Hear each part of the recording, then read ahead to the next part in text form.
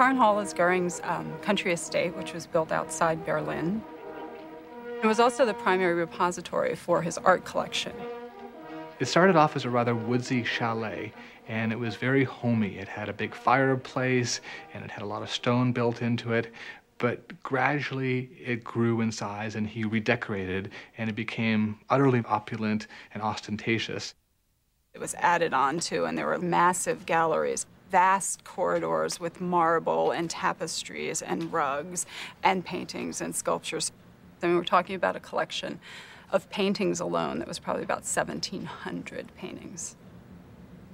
As a comparison, that's more than the National Gallery of Art's European paintings collection.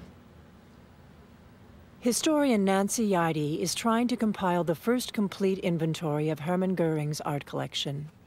One of Yeide's goals is to locate paintings looted by Goering that went missing after the war, including a small painting by Francois Boucher, stolen from André Seligman in Paris. We were looking for this Boucher, and we were surprised to find an image on the Utah Museum of Fine Arts website that matched the lost Seligman Boucher. The Utah Museum had no idea that this was a confiscated and unrestituted picture. Well, I first became aware that the Boucher painting was found when a woman came to see me. And she said, We found a painting of yours, and uh, it's in a museum, and they're willing to cooperate. A painting stolen by Nazis and recovered in Utah is going home.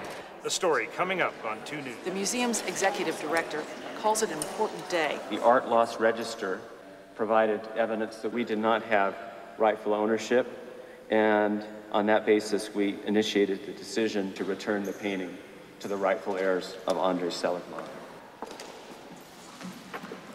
Good morning. I'm the daughter of uh, Seligman.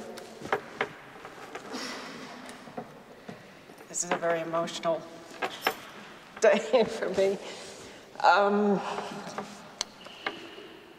we are very excited to get this painting uh, from the museum and they have been really, I can only use the word adorable about this. You ready?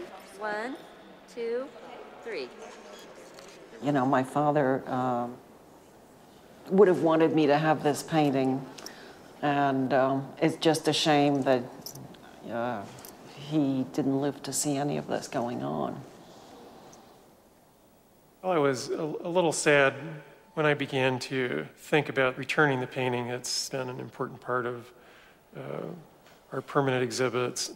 But I also saw the larger uh, moral responsibility. We can't make amends for the millions of lives that were taken, but we can do something, you know, simple, return something stolen, and confer a, little humanity back on all of us.